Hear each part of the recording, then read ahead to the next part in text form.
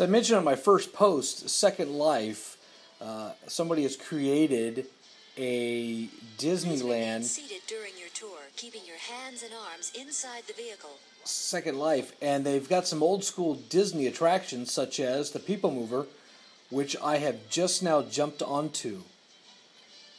This is absolutely amazing. If you know You any, now beginning a grand circle tour of Tomorrowland aboard the People Mover.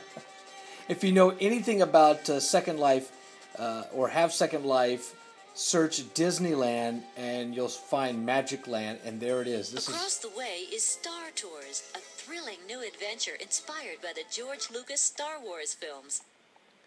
Hello, I am C3PO, and this is my counterpart, R2D2. Welcome to the Star Tours Tomorrowland Spaceport. Anyways, if you have Second Life, search Disneyland and you will find this. This is absolutely amazing.